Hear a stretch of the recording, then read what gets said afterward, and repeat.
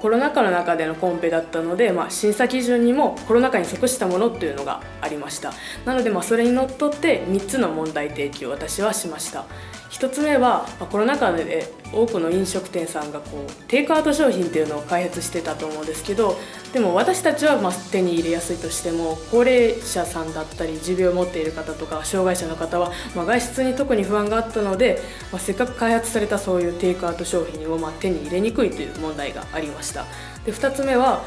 そのテイクアウト商品の情報が結構インターネットとかっていうのが多かったので高齢者とかには届きにくいんじゃないかなという問題がありましたで3つ目は、まあ、コロナ禍であるとかはまあ関係ないんですけどそもそも大学周辺には食料品を買える店が少ないが少ないというあの事実が市民アンケートとか地図とかを見たら分かったのでそれを3つ目の問題としました。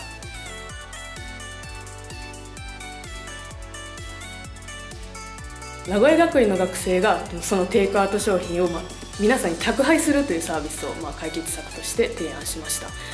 と、まあ、それに加えて情報を広める方法として宣伝ビラを配るということも提案しました。またアンケートもそのビラに同封して、まあ、その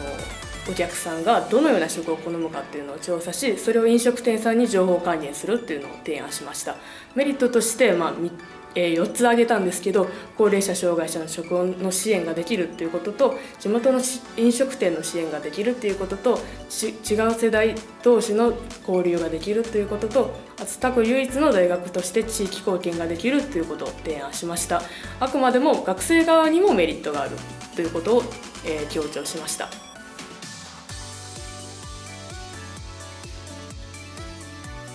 まあ、自分が伝えたいことをこうちゃんとまとめて発信する力がついたり説得力を高めるためには結構いろんな視点からの、うん、思考が必要っていうことが分かったっていう、まあ、収穫っていうのはあったんですけど、まあ、それより一番良かったなって自分が思っていることは、まあ、何をするにもこう漠然とした自信が湧いてきたなっていうことがあります。自分は結構頑張ったぞっていうことを、まあ、一つでもあると、まあ、それ以降の大学生活でも大学以外のことでも自分はあれをちゃんと頑張ったからこれもちゃんとできるだろうっていうその漠然とした自信っていうのがあるので、まあ、これを見ている人もこう何か一つはこれを頑張ったっていうものを見つけるといいんじゃないかなっていうふうに思います。